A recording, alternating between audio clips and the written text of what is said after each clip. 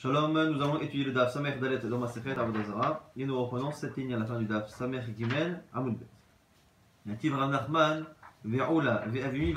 Il y avait trois Chachamim, Ram Nachman, Ve'oula, Ve'avimi Bar Papi.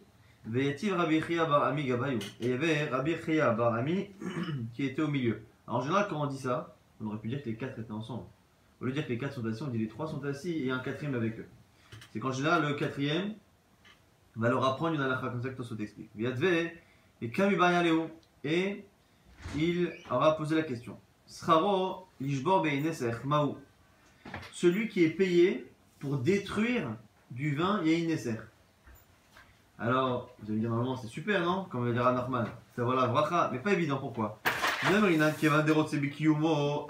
Est-ce que ce serait pas interdit, non seulement interdit de faire du Heineser, mais interdit de faire un travail qui, même si en soi c'est un travail de destruction du Heineser, c'est un travail qui existe que parce que il y a du Heineser. Donc finalement, lui, il est bien content que l'économie du Heineser fonctionne, parce que sans Heineser, il n'a pas de travail. Donc est-ce que j'ai le droit de faire un travail qui finalement indirectement profite de l'existence même de ce Heineser Odinma, ou peut-être qu'on ne regarde pas cette chose-là, Kolema otétif là, au final, techniquement, il est en train de détruire du Yeineser. Et à ce moment-là, c'est autorisé. Amar Nachman, Nachman dit Yishbor, la bracha, qu'il détruise et qu'il reçoive une bracha. En gros, non seulement c'est autorisé, mais c'est même une mitzvah. S'il fait un travail qui en plus une mitzvah, il détruit Yeineser, la bracha. L'agma essaie de trouver une preuve. Les et allez, on peut peut-être trouver une preuve là-bas dans Kilaïm. Kilaïm, ce sont les mélanges de, euh, euh, de végétaux interdits et on a interdit de les planter ensemble, on a interdit d'aider la pousse, et on verra que selon certains, on a un interdit de euh, même protéger, c'est-à-dire mettre une barrière autour d'un de, de kilaïm, d'être mekayem, c'est interdit. Alors ici, on n'a pas le droit de travailler donc avec l'orvet kochavim, d'enlever toutes les mauvaises herbes. Alors, mot, mais on peut arracher on peut arracher les kilaïm eux-mêmes. Donc on n'a pas le droit d'enlever les mauvaises herbes et de couper comme ça les kilaïm pour que ça pousse mieux. Mais par contre, arracher, on a le droit. Pourquoi? Qu'aider les marotés, la tifla, pour justement euh, diminuer dans le monde la tifla, tout ce qui est pas bien, tout ce qui est mauvais. On a l'impression ici que si on les met sur le même plan, c'est-à-dire que de la même manière que on n'a pas le droit de travailler pour nécessaire et on a le droit d'arracher, de détruire les nécessaires. On n'a pas le droit de faire du kilaïm, des kilaïm, mais on a le droit de les arracher. L'Agmara explique pourquoi on pourrait faire une ressemblance. Il faut d'abord penser qu'on pense comme Rabbi Akiva. Savro à Hamani Rabbi Akiva. On a pensé déjà que cette braïta était comme Rabbi Akiva. Des Amar qui pense Am Kayem Bekilaïm Loke. Que le simple fait de permettre au kilaïm de continuer d'exister, c'est déjà son Minatora. Donc on voit que c'est une marque loquette, c'est dans une braïta. Netanya. Am Nakesh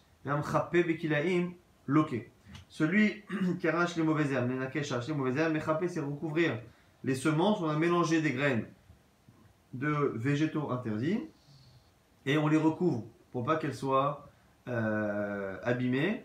Loqué. Abakiva Omer. Ah, Famekayem. Selon Abakiva, même si on est Mekayem, si on fait que faire une barrière et laisser la chose se faire.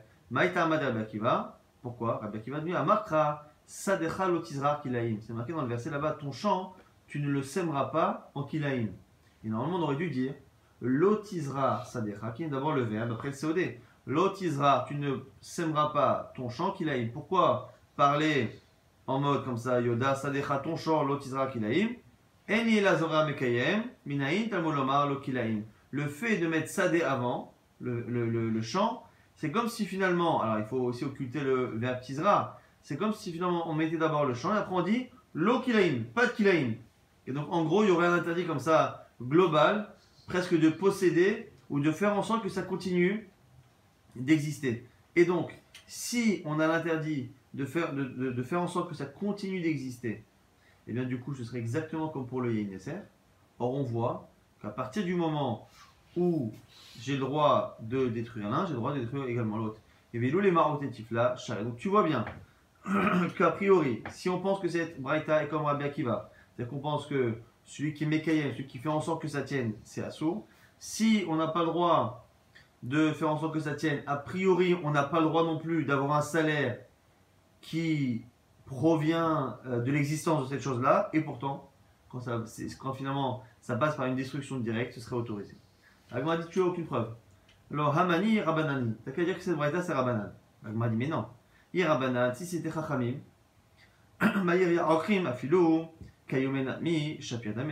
Pourquoi, dans cette braïta, aurait-on eu besoin de dire qu'on a le droit d'arracher les kilaïm, alors que si on est selon Rabbanan, on a même le droit de faire en sorte que ça continue d'exister. Donc non seulement je profite de la chose, mais en plus, j'aide. Non, je vais dire pourquoi on enseignait cela. Parce que c'est un cas où la personne fait ça pour le non-juif de manière euh, bénévole. Et c'est selon Rabbi Udahi, Dama, Liten la Rabbi a dit que le fait de leur donner un cadeau, c'est l'otehonem. C'est marqué dans la Torah l'otehonem. Là-bas, on a plusieurs sens. Et entre autres, l'otehonem dans la dracha, l'otitenaem matanatrinam, ne leur donne pas de cadeau gratuit. Un idolâtre, on ne doit pas normalement lui faire un cadeau sans euh, avoir un avantage de l'autre côté. Et donc, du coup, on a l'interdiction de lui rendre service. Mais ici, comme c'est pour arracher le kilaim akerem, à ce moment-là, c'est autorisé. Donc, l'agma finalement nous dit et que même si on dit que c'est Rabbanan, on peut apprendre. Pourquoi? Parce que Mide Rabbi Nishma et Rabbi Akiva, ce qu'on a appris selon Rabbi peut se transposer à Rabbi Akiva. C'est-à-dire, là-bas, ma Rabbi Uda, n'est-ce pas que Rabbi interdit de leur rendre service? Mais, mais dès que c'est pour détruire quelque chose de mauvais comme le Kilaim, c'est autorisé. Pareil pour Rabbi Akiva, Nami. Même si Rabbi Akiva interdit à la base de faire en sorte que les kilaïm, enfin, de profiter indirectement des kilaïm, les marotétifs, la mais ici, pour détruire, on a le droit de le faire avec tout l'omidé, et il n'y a rien de dire, il n'y a rien à dire en plus. En gros, euh, l'histoire et le dossier est bouclé. Donc ici, on a finalement deux manières. Soit on dit que la Braïta, c'est Rabbi Akiva, Rabbi Akiva pense que quand on n'a pas le droit de faire en sorte que ça existe, eh bien on n'a pas le droit normalement d'avoir un salaire qui bénéficie indirectement de l'existence des Kilaïm. Or, pourtant, quand c'est pour le détruire, on a le droit. Donc, j'ai le droit d'avoir un salaire qui vient de euh, la destruction de cette chose-là parce que ça le détruit, même si au final je profite indirectement parce que je le détruis. Et même si on dit que c'est Rabbanan, comme ça a l'air d'être la conclusion, même si c'est Rabbanan, cette Braïta ne peut être comprise que selon Rabbi qui dit à la base qu'on n'a pas le droit de leur faire un cadeau, mais là-bas aussi, on n'a pas le droit de leur faire un cadeau, et donc c'est autorisé quand c'est pour détruire tout ce qui est tifla, donc il y a une essai ou euh, Kilaïm, et donc on dira pareil chez nous. On dira pareil chez nous qu'il y a une Nesser, même si dans le fond, euh, on devrait éviter normalement de travailler pour du Nesser, à partir du moment où on le détruit, Shapir, À tout Yadem et ils avaient une autre chez là. Deme Avodat Kochavim, Biyadavet Kochavim, Maou. L'argent d'une Avodazara qui est dans la main de l'idolâtre lui-même. Quel est son statut? En gros, c'est pas moi qui. Si j'ai une Avodazara et que je la vends, l'argent, évidemment, a le même statut que l'Avodazara elle-même que j'ai vendu, ce que c'est au Fesset et Damea, comme on l'a vu il y a quelques jours. Maintenant, ici c'est un nouveau problème, c'est lorsque le non-juif lui-même vend sa Avodazara. Est-ce que l'argent qu'il a dans ses mains a un statut d'Avodazara Est-ce que la, la, la a tendance à, euh, à attraper entre guillemets l'argent et à lui donner son statut dans les mains de l'idolâtre? Oui ou non Alors, leur dit Mistabra, des Mutarim. Nachman dit, a priori, la logique voudrait que cet argent-là, dans la main du Rav Kochavim, soit autorisé. Pourquoi? À nous, à tous les Kamed et Rabba Baravoa, à cause de ces gens-là qui sont venus devant Rabba Baravoa, c'était des candidats à la conversion. Il leur a dit, a priori, ils étaient euh, remplis d'Avodazara à la base, qu'ils le servaient ou pas. En tout cas, il leur a dit, Zilu Zabinu Kolma de Hitleru Vetu Igaru. N'oubliez pas de bien vendre tout avant de vous convertir. Ne vous retrouvez pas converti, juif, avec une avodazara, que vous ne pouvez pas faire. C'est dommage, vendez tout et convertissez-vous. Donc a priori, cet argent-là, une fois qu'il le récupère, en tant que non-juif, n'a pas de statut d'avodazara, puisque quand ils vont se convertir, ils pourront en profiter. Ici, on se retrouve à avoir le même problème que quand moi, juif, je récupère l'argent qu'un non-juif a récupéré d'une vente. Là, c'est pareil, c'est lui-même, le, juif, la nouvelle Neshama, qui récupère euh, du non-juif qu'il était il y a 5 minutes. Alors, m'a dit, n'est-ce pas que Mishum de Kassava, Marvadet Kochavim, Beyad Kochavim Mutarim, n'est-ce pas que là-bas, Rav Nachman, Rabba Baravoa, excusez-moi, leur a dit ça que parce que justement cet argent a devenu autorisé. La Gemara dit c'est pas une preuve. Il dit Machane Atam, les Kevin des les Gayoure, Badaï, Batla. Là-bas c'est spécial. Ils étaient candidats à la conversion. Donc on sait nous que s'ils sont candidats à la conversion, il ne faut plus Avodazara. Donc c'est sûr qu'ils vont annuler la Vodazara. Une fois qu'ils l'annulent, ils la vendent. Eh ben, c'est normal du coup que cet argent-là, son on sait très bien qu'un goy peut annuler sa Vodazara. La sienne même celle d'un autre. Et donc du coup là-bas c'est pas une preuve. Maintenant quand ici un non-juif qui a priori est encore idolâtre, décide de vendre une idole, et qu'après il me rembourse une dette avec cet argent, est-ce que je peux le récupérer ou pas? C'est une autre question a priori. Et là, on va essayer de déduire justement de cela. Israël, chez Aya, Mané. Ici, on a un juif qui a prêté de l'argent, et donc un non-juif qui lui donne l'argent à Mané. Justement le cas qu'on vient de citer, c'est-à-dire l'idolâtre vend une statue et lui apporte l'argent. Yeneser Vevilo, où il vend du vin Yeneser et il lui donne. Mouta, je peux en profiter. Si par contre, l'idolâtre dit Amteni s'il dit à son créancier juif Attends que je vende cette idole et que je te paye avec. Il y a une Bavilecha ou attends que je vende ce vin de Neser, c'est Assour. Et donc on a l'impression ici, effectivement, que, à part dans le cas où précisément il nous le dit, on n'a pas de problème si on sait finalement qu'il a vendu son idole et que cet argent-là, s'il ne me l'a pas dit clairement, il ne m'a pas annoncé à l'avance, je sais qu'il est parti, il vient avec cet argent tout de suite et il me les donne dans la main, je n'ai aucun problème. Donc on voit a priori que à partir du moment où c'est vendu dans la main d'Avodat Kochavim, eh bien justement, Avodat Kochavim c'est pas Tofeset et Damir. Maïshna Recha ou Maïshna Sefa. Maintenant la Gemara se pose la question quelle est la différence entre le début et la fin? Pourquoi finalement quand il le vend de lui-même, eh bien, c'est autorisé. Et pourquoi quand il me l'annonce, ça devient interdit? Propose. Il dit parce qu'à la fin, on a l'impression, c'est comme si je tirais profit de cette chose-là. En gros, s'il est parti de faire lui-même, je suis pas au courant, je l'apprends après. Il va le vendre et il m'apporte l'argent. Bon, à aucun moment, je me suis dit, pourvu que sa statue reste euh, intact. Si par contre il vient voir, il dit voilà, je dois 200 000 euros, voilà, tu vois cette belle statue-là, je vais tout de suite aller la vendre et je reviens dans 5 heures. Et en attendant, il passe dans des quartiers pas très, euh, pas très safe. Alors moi je me dis, ah mince, pourvu qu'il ne se fasse pas braquer, parce que sinon je ne toucherai pas mon argent. Et du coup, c'est comme si, comme si à un moment donné, j'ai un intérêt que cette Avodazara continue d'exister, parce que sans, sans le fait qu'elle existe pendant les prochaines heures, c'est mon argent que je ne récupérerai pas. Donc c'est pour ça que, je t'explique qu'à la fin de la Breta, on a interdit dans le cas où dès le départ, il lui dit je vais te rembourser avec. Il m'a dit Il m'a dit alors, même si dans ce cas-là, il veut effectivement que la tienne, est-ce que c'est vraiment interdit? Pourtant on a une Mishnah qui montre bien qu'un juif, ici en l'occurrence un converti, a le droit de tirer profit de l'existence d'une avodazara de cette sorte, que ça ne nous dérange pas tant que ça, qu'il tire un profit indirect de la continuité de l'existence d'une avodazara. Guerre kochavim, VM kochavim. On a un converti qui a un frère qui lui n'est pas converti. Et donc il a un converti et son frère non juif qui hérite de papa. Alors, le père a laissé des idoles d'un côté et de l'argent de l'autre. Alors, le converti, qui est juif, donc peut dire à son frère non juif, écoute, toi tu prends toutes les idoles, et moi je prends tout le reste. Toi la taille Inesser, Maniperot, ou si c'est des récoltes, toi tu prends le Inesser, et moi je prends le Calvados. Im Guerre, Si par contre, ça a déjà été euh, partagé de telle sorte à ce qu'il a déjà reçu, il n'a pas le droit, une fois qu'il a reçu cette partie-là, redonner à son frère en échange. Là, il y a un problème, ça devient allumé avant qu'il y ait eu partage.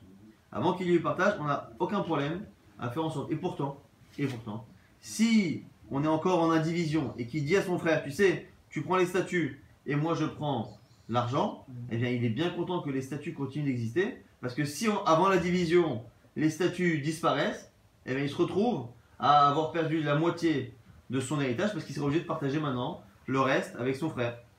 Donc la tu vois bien que Rotsebe Kiyumo c'est pas forcément un problème. Donc pourquoi on a dit que quand je me fais rembourser par Kochavim, s'il m'annonce qu'il va vendre sa statue, on n'a pas le droit parce qu'on a peur qu'en attendant, j'espère que ça tienne. Mais c'est la même chose avec le, le cas des deux frères qui héritent. Agmara répond Amara Baron la matnitin barba kochavim amitraleket les fiches varia.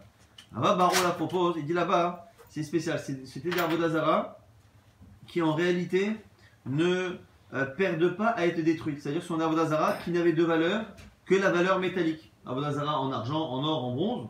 Elles n'ont pas de valeur pour le l'Avodazara tel, tel quel, mais pour le, métal. Et donc du coup, il s'en fiche si ça a été cassé, brisé. Dans tous les cas, il se dit que il euh, n'y a, pas de perte possible parce que finalement ça a une valeur intrinsèque. On m'a dit Tina, On m'a dit ok pour la Vodazara. Maintenant il y a une pour le vin. Quand il a dit bah, tu gardes le vin et moi je garde les, fruits. Mais avec Kalamé qu'est-ce que tu vas dire? Elle m'a dit Becheres Adriani pareil. C'est un vin qui est non pas stocké dans des tonneaux, mais qui est stocké, comme on a vu dans, le, dans cette, argile là d'Adrien, Adrianus, l'empereur romain qui avait appris justement que un, un, très bon vin il avait gardé dans des, du, de l'argile très très poreux, de sorte à ce qu'après on pouvait transporter facilement euh, ce concentré de vin, le laisser tremper comme ça dans de l'eau et avoir comme ça un, un, bon vin. Donc du coup, même ces, ces tonneaux d'argile là, s'ils se cassent, ça ne dérange pas parce que dans tous les cas, on va les casser pour euh, récupérer le parfum. Alors, au Sebekiomo, je te le là, m'a dit Ok, très bien, il n'a pas peur que la Vodazara se casse, il n'a pas peur que les tonneaux de vin se cassent, il c'est Hayas Adriani, mais il a peur qu'on les vole.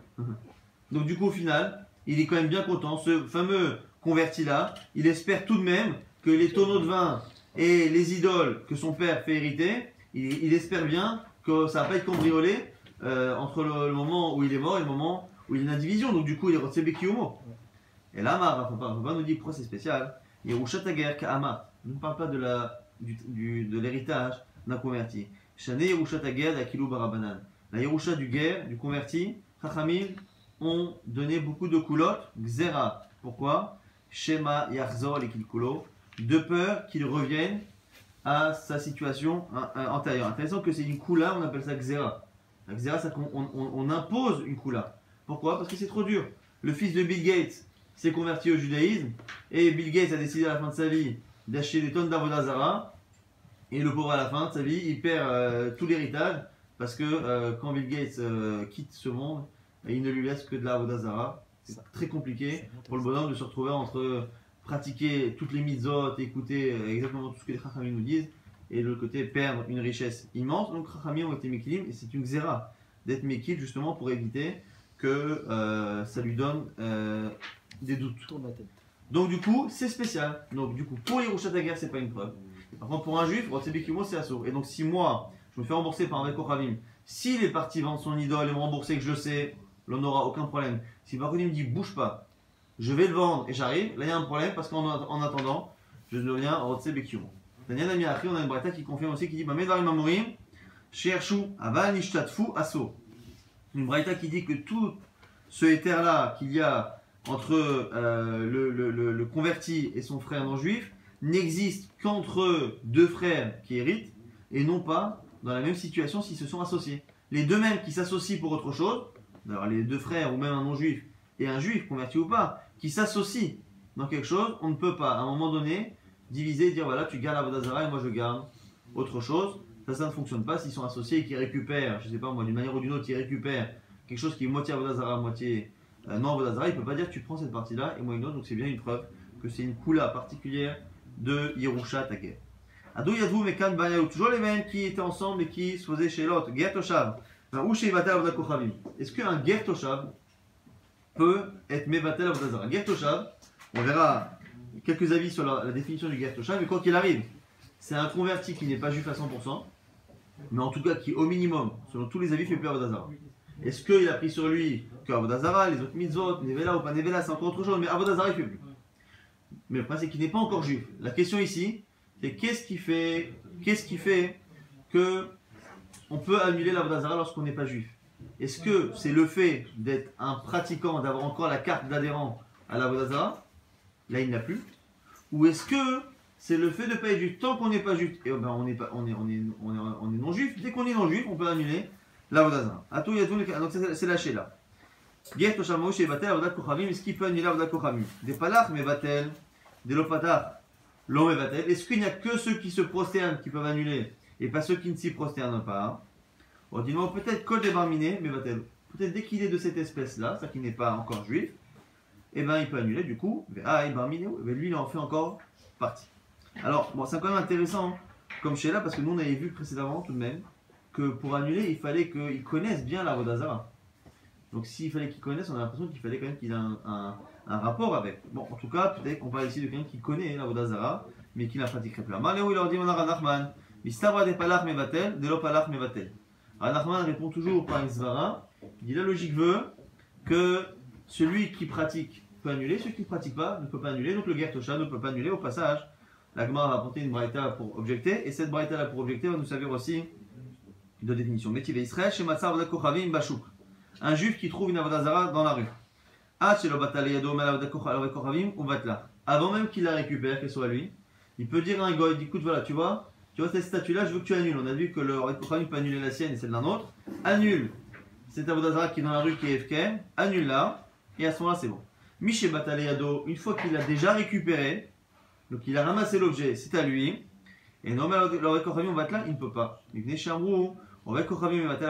chez on a dit qu'un Ovet Kochavim peut annuler sa Avodazara et celle de son prochain, donc qui est idolâtre, mais pas forcément celle d'un juif. En tout cas, à la fin, il y a une, phrase qui est intéressante c'est Ben Rovda ou Ben She'en Rovda. Qu'il la serve, la Avodazara, ou qu'il ne la serve pas. Le Ovet Kochavim peut annuler qu'il le fasse ou qu'il ne fasse pas. Donc la Gemara va essayer de trouver une objection à ce qu'on a dit. L'agma dit Mai Ovda ou Mai Sheno Ovda. C'est quoi cette expression Qu'il la serve ou qu'il ne la serve pas? Il est Mai dit Veidi avec Kochavim. Si tu me dis que dans les deux cas, on parle d'un Kochavim, c'est-à-dire que est-ce que c'est il sert cette idole ou est-ce que c'est pas lui qui sert cette idole, c'est un autre? L'agma dit Aïnou, Shelo Shel Chavero, ça c'est déjà inclus dans le début. On a dit qu'un goy peut annuler sa Avodazara et celle d'un autre. Celle d'un autre, ben, il n'est pas Ovda par définition. C'est pas lui qui est c'est l'autre qui est Et donc, du coup, si c'était ça le sens de Rovda, on l'aurait déjà dit. Donc, Shelo et c'est déjà, c'est déjà m'apprendre que, que ce soit lui qui sert cette idole ou un autre, déjà, il peut l'annuler. Et donc, quand on dit Rovda ou pas Rovda, qu'il la sert, qu'il la sert pas, c'est pas cette idole, c'est toutes les idoles. Est-ce qu'il est encore idolâtre ou pas donc elle a la Rovda avec Kochavim, n'est-ce pas que quand on dit qu'il la sert, c'est qu'il sert la Zara en général. Ou hein. et quand on dit qu'il ne la sert pas, Ger Toshav, c'est-à-dire qu'il ne fait plus Avodazara.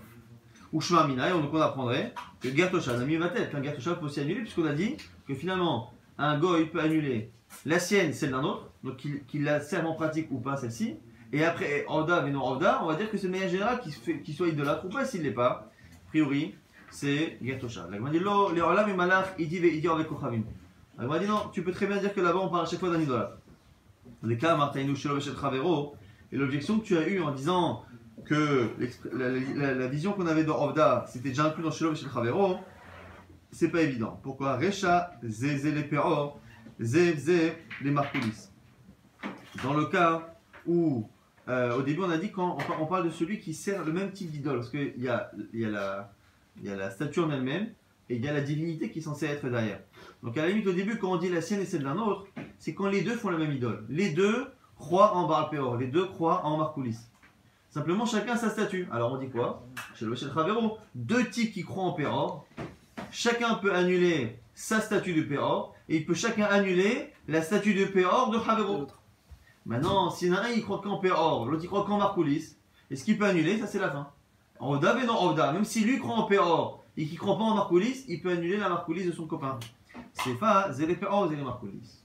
Et donc, du coup, tu n'as pas de preuve là-bas que le Gertoshav peut annuler euh, l'arbre d'Azara. On objecte, Métiv et Zéo Gertoshav. Et cette braïta va nous servir de définition. C'est quoi un Gertoshav.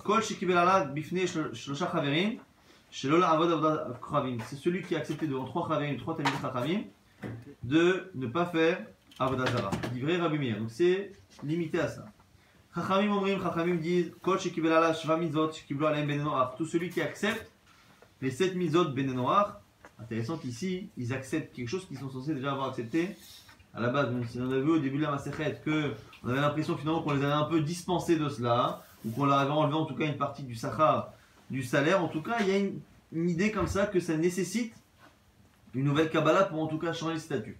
Selon la plupart des commentaires, ça ne change pas tellement au niveau de leur rio, de leur obligation, parce qu'ils l'ont déjà à la base, mais en tout cas, ça change au niveau de leur statut. Ils changent de statut, ça devient guerre Toshav.